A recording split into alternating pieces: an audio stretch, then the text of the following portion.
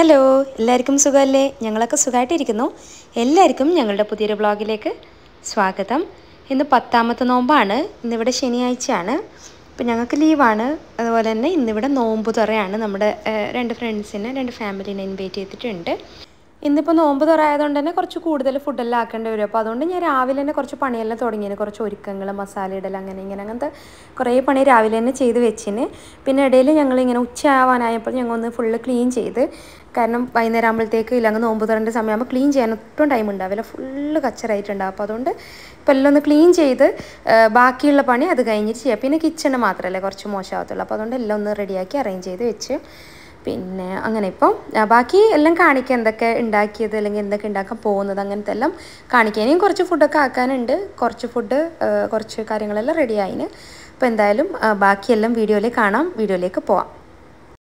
ഇനിയിപ്പോൾ ഞാൻ ചിക്കൻ ബിരിയാണി ഉണ്ടാക്കുന്നുണ്ട്. ചിക്കൻ ഫ്രൈ ചെയ്തിട്ടാണ് ബിരിയാണി ഉണ്ടാക്കുന്നത്. അപ്പോൾ ഈ മസാല ഞാൻ രാത്രി ഇട്ട് വെച്ച് രാവിലെ എടുത്താണ് ഇത് ഫ്രൈ ചെയ്യാനിട്ടത് അപ്പോൾ ഇതിലേക്ക് ഞാൻ മഞ്ഞൾപ്പൊടി മുളക് പൊടി ഗരം മസാല ഇഞ്ചി വെളുത്തുള്ളി പേസ്റ്റ് ചെറുനാരങ്ങ നീര് ഉപ്പ്.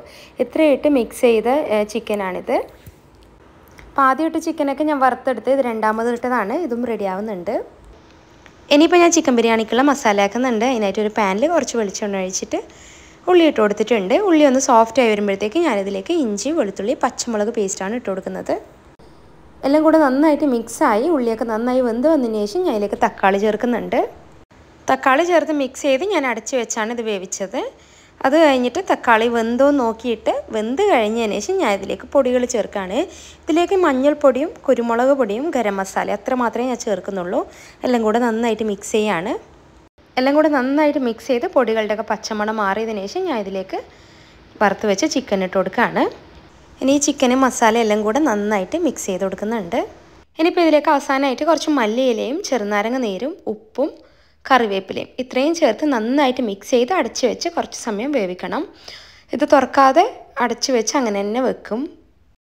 മസാല ഉണ്ടാക്കുന്ന അതേ സമയത്ത് ഞാനിപ്പുറത്ത് ചോറുണ്ടാക്കിയായിരുന്നു. ജീരകസാല അരിയാണ് ഞാൻ നെയ്ച്ചോറിന് എടുത്തിട്ടുള്ളത്. ഇതിലേക്ക് ആവശ്യത്തിന് വെള്ളം ചെറുനാരങ്ങ നീര് ഉപ്പ് നെയ്യ് ഏലക്ക പട്ട ഗ്രാമ്പു ഇത്രയും ഇട്ട് വേവിച്ചെടുത്ത റൈസാണിത് ഇപ്പോൾ ഇത് റെഡി ആയിട്ടുണ്ട് ഇവിടെ നെയ്ച്ചോറ്. ഇപ്പോൾ ബിരിയാണി ദം ചെയ്യുമ്പോഴേക്കിടാനുള്ള കുറച്ച് ഉള്ളിയും ഞാൻ വറുത്തെടുക്കുന്നുണ്ട്. പിന്നെ ഞാൻ കുറച്ച് ബീഫിന്റെ പള്ളിക്കറി ഉണ്ടാക്കിയായിരുന്നു. ഇതിന്റെ റെസിപ്പി ഞാൻ ഓൾറെഡി കാണിച്ചതാണ്. അപ്പോൾ അതുകൊണ്ട് ഇന്ന് ഞാൻ കാണിക്കുന്നില്ല. ഇതിലേക്ക് ഇടാനുള്ള തേങ്ങ ഇപ്പം ഞാൻ വറുത്തെടുക്കുന്നുണ്ട്. തേങ്ങയും കറിവേപ്പിലയും ലാസ്റ്റ് ഇടാനായിട്ട് വറുക്കാണ്. ഇപ്പോൾ തേങ്ങ വറുത്തത് ഇവിടെ റെഡി ആയിട്ടുണ്ട്. ഇതിപ്പോൾ ഞാൻ ഈ കറിയിലേക്ക് മിക്സ് ചെയ്യാണ്. ഇതിപ്പോൾ നന്നായിട്ട് എല്ലാം കൂടെ മിക്സ് ചെയ്ത് കുറച്ച് സമയം ഇതുപോലെ അടിച്ചു വെച്ചാൽ പള്ളിക്കറിയും റെഡിയായി ഇനിയിപ്പോൾ ഞാൻ പഴം നിറച്ചത് ഉണ്ടാക്കാനായിട്ട് ഒരു പാനിൽ കുറച്ച് നെയ്യ് ഒഴിച്ച് കൊടുക്കുന്നുണ്ട്. അത് ചൂടായി വരുമ്പോഴത്തേക്ക് ഇതിലേക്ക് കാഷ്യനട്ടും കിസ്മിസും രണ്ടും ഇട്ട് വറുത്തെടുക്കുകയാണ് ഇനിയിപ്പോൾ ഇതേ നെയ്യിലേക്ക് ഞാൻ തേങ്ങ ഇട്ട് കൊടുക്കുന്നുണ്ട്. തേങ്ങപ്പണ്ടം ഉണ്ടാക്കാനായിട്ട്. ഇനിയിപ്പോൾ ഈ തേങ്ങക്ക് കുറച്ച് മധുരം വേണം. അപ്പോൾ അതിനായിട്ട് ഞാൻ കുറച്ച് പഞ്ചസാര ഇട്ട് കൊടുക്കുന്നുണ്ട്. പഞ്ചസാര ഇട്ട് നല്ലോണം മിക്സ് ചെയ്യാം. ഇപ്പോൾ ഇതിലേക്ക് ഒരു ഏലക്ക ഇടുമ്പോഴാണ് ആ ഒരു ടേസ്റ്റ് ഏലക്കാന്റെ ഫ്ലേവർ അപ്പോൾ ഞാൻ കുറച്ച് ഏലക്ക എടുത്ത് കുത്തിയെടുക്കുന്നുണ്ട്. ഇപ്പോൾ ഇതിലേക്ക് ഏലക്ക ചേർക്കുകയാണ് ഞാൻ ഇതിലേക്ക് ചെറുതായിട്ട് ഒരു യെല്ലോ ഫുഡ് കളർ ചേർത്തായിരുന്നു ഒരു കളറിന് വേണ്ടിയിട്ട്. ഇപ്പോൾ അവസാനമായിട്ട് ഇതിലേക്ക് വറുത്ത് വെച്ച കാഷ്യനട്ടും കിസ്മിസും ഇട്ട് കൊടുക്കാം. അങ്ങനെ ഇപ്പോൾ പഴം നിറച്ചതിനുള്ള തേങ്ങാപ്പണ്ട് ഇവിടെ റെഡി ആയിട്ടുണ്ട്. ഇനിയിപ്പോൾ ഇതിലേക്കുള്ള പഴം റെഡിയാക്കാനായിട്ട് ഞാൻ അഞ്ച് പഴം എടുത്തിട്ടുണ്ട്. അതിന് ഞാൻ രണ്ടായിട്ട് കഷ്ണിച്ചിട്ടുണ്ട്. ഇനിയിപ്പോൾ ഒരു പാനിൽ കുറച്ച് എണ്ണ ഒഴിച്ച് കൊടുത്തിട്ട് അത് ചൂടായി വരുമ്പോഴത്തേക്ക് ഈ പഴമൊക്കെ ഇട്ട് കൊടുക്കുകയാണ്. ഈ പഴമൊക്കെ ഒന്ന് വറുത്തെടുക്കണം. ഇത് ഭയങ്കര കളറ് മാറി വരുന്നവരൊന്നും ഞാൻ വെക്കുന്നില്ല. ജസ്റ്റ് ഒന്ന് വറുത്ത് വരുമ്പോഴത്തേക്ക് തന്നെ ഞാനിത് എല്ലാം കോരിയെടുക്കുന്നുണ്ട്. അങ്ങനെ ഇപ്പോൾ പഴമെല്ലാം ഞാൻ വറുത്തെടുത്തിട്ടുണ്ട്. ഈ ഒരു കളറിലാണ് ഞാൻ എല്ലാം വറുത്തെടുത്തത്. തേങ്ങാപ്പണ്ട ഇവിടെ റെഡി ആയിട്ടുണ്ട്. ഇനിയിപ്പോൾ ഇത് ഓരോന്നിലേക്കും ഈ തേങ്ങാപ്പണ്ട നിറച്ച് പഴം നിറച്ചതാക്കി എടുക്കാം. കുറച്ച് ക്ഷമയോടെ ചെയ്യേണ്ടതാണ്. ഇത് പൊട്ടിയാൽ ഇതൊക്കെ പുറത്ത് വരും. ഈ ഒരു തേങ്ങാപ്പണ്ടൊക്കെ പുറത്ത് വരും. അപ്പോൾ അതുകൊണ്ട് പൊട്ടാതെ സൂക്ഷിച്ച് ഉണ്ടാക്കിയെടുക്കുന്നുണ്ട് ഓരോന്നും. അപ്പോൾ ഞാൻ എല്ലാ പഴത്തിലും തേങ്ങാപ്പണ്ട് ഇട്ട് കൊടുത്തിട്ട് ഇവിടെ പഴം നിറച്ചത് റെഡി ആയിട്ടുണ്ട്. പിന്നെ ഇന്ന് ഉണ്ടാക്കുന്നത് കട്ട്ലറ്റാണ് അപ്പോൾ ഈ കട്ട്ലറ്റിന്റെ ഇതൊക്കെ ഞാൻ നേരത്തെ റെഡിയാക്കി വെച്ചായിരുന്നു. കട്ട്ലറ്റിന്റെ മസാല ഫുള്ള് റെഡി ആയിട്ടുണ്ട്. ഇതിപ്പോൾ ഞാൻ ഷേപ്പാക്കി എടുക്കാൻ പോവാണ്. കട്ട്ലറ്റിന്റെ റെസിപ്പിയൊക്കെ എല്ലാവർക്കും അറിയുന്നതാണ്. ഞാൻ കുറേ പ്രാവശ്യം എന്റെ ഇതിൽ തന്നെ കാണിച്ചിട്ടുണ്ട്. അപ്പോൾ അതുകൊണ്ട് ഇതൊന്നും ഞാൻ എടുക്കുന്നില്ല. ജസ്റ്റ് ഇത്ര കാണിച്ചതേ ഉള്ളൂ. ഇപ്പോൾ എല്ലാ കട്ട്ലറ്റും ഞാൻ ഷേപ്പാക്കി എടുത്തിട്ടുണ്ട്. ഇനിയിപ്പോൾ ഇത് ലാസ്റ്റ് പ്രോസസ്സായിട്ടുള്ള മുട്ടയിൽ മുക്കിയിട്ട് ബ്രെഡിൽ മുക്കിയിട്ട് ഷേപ്പാക്കി എടുക്കുകയാണ്. പിന്നെ എല്ലാ വീഡിയോസും എടുക്കുമ്പോൾ വീഡിയോ ഭയങ്കര ലോങ് ആവും. അപ്പോൾ അതുകൊണ്ട് പറ്റുന്നത് ഞാൻ ഷോർട്ടായിട്ട് തന്നെ ചെയ്യാൻ നോക്കുന്നു വീഡിയോസ് എല്ലാം. അങ്ങനെ ഇപ്പോൾ കട്ട്ലറ്റ് ഫുള്ള് ഇവിടെ റെഡി ആയിട്ടുണ്ട്. ഞാനിത് ബീഫിന്റെ കട്ട്ലറ്റാണ് ഇന്ന് ഉണ്ടാക്കിയിട്ടുള്ളത്. ഇപ്പോൾ കട്ട്ലറ്റ് എണ്ണയിൽ നിന്ന് വറുത്തെടുക്കുന്നുണ്ട്. എല്ലാ റെസിപ്പിയും റിപ്പീറ്റ് വേണ്ടെന്ന് വിചാരിച്ചാണ് ഇത് ഉണ്ടാക്കുന്നതെന്ന് കാണിക്കാത്തത്. ഇനിയിപ്പോൾ ഞാൻ കാടമുട്ട ഫ്രൈ ഉണ്ടാക്കാമെന്നാണ് വിചാരിക്കുന്നത്. അപ്പോൾ അതിനായിട്ട് ഞാൻ കാടമുട്ട പുഴുങ്ങിയെടുക്കുന്നുണ്ട്. അപ്പോൾ ഇതിന്റെ റെസിപ്പിയും ഞാൻ റമദാൻ ബ്ലോഗിൽ തന്നെ കാണിച്ചിട്ടുണ്ട്. അപ്പോൾ അതുകൊണ്ട് ഇത് ജസ്റ്റ് ഒന്ന് വറുത്തെടുക്കുന്ന കാണിച്ചെന്നേ ഉള്ളൂ. ഇതിപ്പോൾ ഇവിടെ റെഡി ആയിട്ടുണ്ട്. ഇനിയിപ്പോൾ ഞാൻ ഉണ്ടാക്കുന്നത് ഒരു ചിക്കൻ സ്നാക്കാണ് പുയ്യാപ്പിള പത്രി ഉണ്ടാക്കാമെന്ന് വിചാരിച്ചു. അപ്പോൾ അതിനായിട്ട് ചിക്കൻ വറുത്തെടുക്കുന്നുണ്ട്. ചിക്കനൊക്കെ ഇവിടെ വറുത്ത് റെഡി ആയിട്ടുണ്ട്. ഞാൻ കുറച്ച് കൂടുതൽ ചിക്കൻ ഉള്ളിയൊക്കെ എടുത്തായിരുന്നു. കുറച്ച് മസാല കൂടുതൽ ഉണ്ടാക്കി വെച്ചാൽ അങ്ങ് സ്റ്റോക്ക് ചെയ്ത് വെക്കാം ഫ്രിഡ്ജിൽ ജോലിക്കൊക്കെ പോകുമ്പോൾ എളുപ്പത്തിൽ എന്തെങ്കിലും വന്ന് ഉണ്ടാക്കാമെന്ന് വിചാരിച്ചിട്ട്. ചിക്കൻ വറുക്കാനെടുത്ത് അതേ എണ്ണ തന്നെയാണ് ഞാനിപ്പോൾ എടുത്തിട്ടുള്ളത്. ഞാൻ കുറച്ച് വലിയ പാൻ എടുത്ത്. ഉള്ളി കുറച്ച് കൂടുതലുള്ളതുകൊണ്ട് ഇപ്പോൾ ഉള്ളി ഇട്ട് ഉള്ളി സോഫ്റ്റ് ആയി വരുമ്പോഴത്തേക്ക് ഇതിലേക്ക് പച്ചമുളകും കറിവേപ്പില ഇട്ട് കൊടുക്കുന്നുണ്ട്. നന്നായി മിക്സ് ചെയ്ത് കൊടുത്തിട്ട് ഞാനിപ്പോൾ ഇതിലേക്ക് ഇഞ്ചിയും വെളുത്തുള്ളിയും പേസ്റ്റ് ഇട്ട് കൊടുക്കുകയാണ് എല്ലാം കൂടെ നന്നായിട്ട് മിക്സ് ചെയ്ത് ഉള്ളി ഒന്ന് റെഡിയായി വരുമ്പോഴത്തേക്ക് ഞാൻ ഇതിലേക്ക് പൊടികൾ ചേർത്ത് കൊടുക്കുകയാണ്. കുറച്ച് മഞ്ഞൾപ്പൊടി കുറച്ച് കുരുമുളക് പൊടി കുറച്ച് ചിക്കൻ മസാല കുറച്ച് ഗരം മസാല ഇത്രയും പൊടികളാണ് ഞാൻ ഇതിലേക്ക് ചേർത്ത് കൊടുത്തത്. എല്ലാം കൂടെ നന്നായിട്ട് മിക്സ് ചെയ്യാണ്. ഇനിയിപ്പോൾ ഇതിലേക്ക് ഉപ്പ് ചേർത്തിട്ട് വറുത്ത് വെച്ച ചിക്കൻ ചേർത്ത് കൊടുക്കുകയാണ്. ചിക്കൻ ചേർത്തിട്ട് നന്നായിട്ട് ഇത് മിക്സ് ചെയ്ത് കൊടുക്കുന്നുണ്ട്. ഈ ഒരു മസാല വെച്ചിട്ട് കുറേ തരം സ്നാക്ക് ഉണ്ടാക്കുക അപ്പോൾ അതുകൊണ്ടാണ് ഞാൻ കുറച്ച് കൂടുതൽ തന്നെ മസാല ഉണ്ടാക്കുന്നത്. പെട്ടെന്ന് എന്തെങ്കിലും തോന്നിയാൽ കുറച്ച് മസാല ഉണ്ടെങ്കിൽ എളുപ്പമാവും ഇനിയിപ്പോൾ ഇതിലേക്ക് അവസാനമായിട്ട് കുറച്ച് മല്ലിയിലും കൂടെ ചേർത്ത് കഴിഞ്ഞാൽ ഈ ഒരു ചിക്കൻ മസാല റെഡി ആയിട്ടുണ്ട്. ഇനിയിപ്പോൾ പുയ്യാപ്പിള പത്തിരി ഉണ്ടാക്കാനായിട്ട് ഞാൻ ബ്രെഡ് എടുത്തിട്ടുണ്ട്. ഞാൻ എട്ട് ബ്രെഡാണ് എടുത്തത്. ഞാൻ ഒറ്റ ലെയർ ഉണ്ടാക്കുന്നുള്ളൂ. കുറേ ലെയർ ഉണ്ടാക്കുന്നില്ല. ഞാൻ ചമ്മന്തി വെക്കാറുമില്ല. അപ്പോൾ ഈ ഒരു ചിക്കൻ മസാല മാത്രം വെച്ചാണ് ഉണ്ടാക്കുന്നത്. അപ്പോൾ അതിനായിട്ട് ഞാൻ ബ്രെഡൊക്കെ മുറിച്ചെടുത്തിട്ടുണ്ട്. ഇപ്പോൾ പുയ്യാപ്പിള പത്തിരി റെഡിയാക്കാനായിട്ട് ഞാൻ ബ്രെഡ് പരത്തി വെച്ചിട്ടുണ്ട്. മുട്ട അടിച്ച് വെച്ചിട്ടുണ്ട്. മുട്ട കുറച്ച് പാലും കൂടെ ഇട്ടിട്ട് അടിച്ചതാണ്. പിന്നെ ചിക്കനും എടുത്ത് വെച്ചിട്ടുണ്ട്. ഇനിയിപ്പോൾ ഇത് റെഡിയാക്കി എടുക്കാം.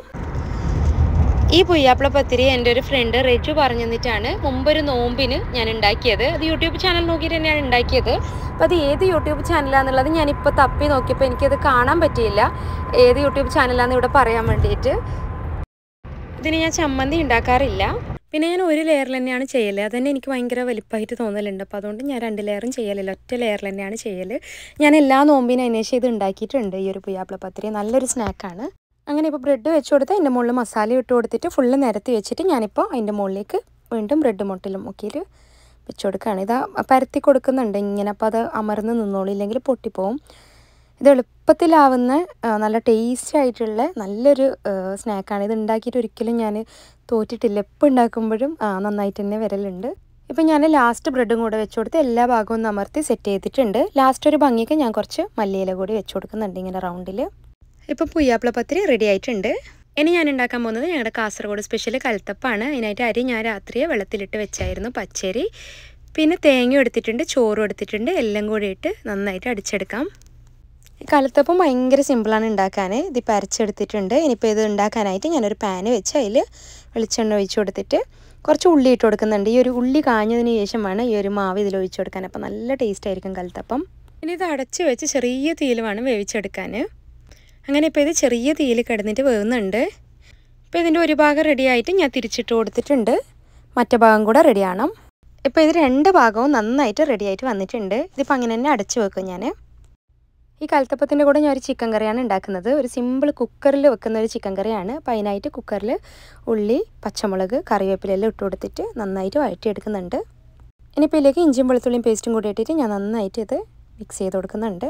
ഇനിയിപ്പോൾ ഉള്ളിയൊക്കെ നന്നായി റെഡി ആയതിനു ശേഷം ഞാൻ ഇതിലേക്ക് മഞ്ഞൾപ്പൊടി മുളക് പൊടി മല്ലിപ്പൊടി ഗരം മസാല ചിക്കൻ മസാല ഉപ്പ് എല്ലാം കൂടിയിട്ട് നന്നായിട്ട് മിക്സ് ചെയ്യുന്നുണ്ട്. പൊടികളുടെ പച്ചമണം മാറിയതിന് ശേഷം ഞാൻ ഇതിലേക്ക് തക്കാളി ചേർക്കുന്നുണ്ട്. തക്കാളി നന്നായിട്ട് ഉടഞ്ഞു വന്നതിന് ശേഷം ഞാൻ ഇതിലേക്ക് ചിക്കൻ ഇട്ട് കൊടുക്കുന്നുണ്ട്. എല്ലാം കൂടെ നന്നായിട്ട് മിക്സ് ചെയ്ത് ആവശ്യത്തിന് വെള്ളം ഒഴിച്ചു കൊടുത്തിട്ട് ഇതിപ്പോൾ ഞാൻ വിസിലിനായിട്ട് വെക്കുന്നുണ്ട്. ഇപ്പോൾ ഒന്ന് രണ്ട് വിസിലിന് തന്നെ ആവും. പിന്നെ തുറക്കാതെ വെച്ചാൽ മതി. അപ്പോഴത്തേക്ക് തന്നെ ചിക്കൻ കറി റെഡി ആയിട്ടുണ്ടാവും. അങ്ങനെ ഇപ്പോൾ ചിക്കൻ കറി റെഡിയായി ഞാൻ എളുപ്പത്തിന് വേണ്ടിയിട്ടാണ് കുക്കറിൽ വെച്ചത്. പെട്ടെന്ന് തന്നെ റെഡിയായി പിന്നെ നോമ്പ് കഞ്ഞി ഉണ്ടാക്കിയിട്ടുണ്ട്. ഇപ്പോൾ നോമ്പ് കഞ്ഞിയും ഞാൻ റെസിപ്പി മുമ്പ് ഇട്ടതുകൊണ്ടാണ് കാണിക്കാത്തത്. ഇത് ഞാൻ രാവിലെ ഉണ്ടാക്കി വെച്ച് ഇന്ന് ആവശ്യമുള്ളത് കോരിയെടുത്തിട്ട് അതിലേക്ക് തേങ്ങാപ്പാൽ ഒഴിച്ച് റെഡിയാക്കിയെന്നേ ഉള്ളൂ. ഇന്ന് ഡെസേർട്ടായിട്ട് ഞാൻ കസ്റ്റർഡാണ് ഉണ്ടാക്കിയത്. ഇപ്പോൾ കസ്റ്റർഡ് റെഡിയാക്കി വെച്ചിട്ട് അതിലേക്ക് ഫ്രൂട്ട്സൊക്കെ മുറിച്ച് വെച്ച് എല്ലാം കൂടെ മിക്സ് ചെയ്യാണ്. ഫ്രൂട്ട്സും ഉണ്ട്. കുറച്ച് നട്ട്സും ടൂട്ടി ഫ്രൂട്ടിയും എല്ലാം കൂടെ മിക്സ് ചെയ്തിട്ടാകുമ്പോഴത്തേക്ക് കസ്റ്റർഡും റെഡി ഇന്നിപ്പോൾ ബത്തക്ക ജ്യൂസ് ഉണ്ടാക്കാമെന്നാണ് നിരിച്ചത്. ഇങ്ങനത്തെ നമ്മൾ ഇഫ്താർ പാർട്ടിക്കെല്ലാം ബത്തക്ക ജ്യൂസാണ് ഏറ്റവും നല്ലത്. നമുക്ക് ഉണ്ടാക്കാനും എളുപ്പം. അപ്പോൾ ഇപ്പോൾ ബത്തക്ക ജ്യൂസ് ആക്കുന്നുണ്ട്. ജ്യൂസും കൂടെ ആകുമ്പോഴത്തേക്ക് ഫുഡൊക്കെ റെഡിയായി ഇനിയിപ്പോൾ ഓരോ ഫുഡായിട്ട് അറേഞ്ച് ചെയ്യാൻ പോവാണ്.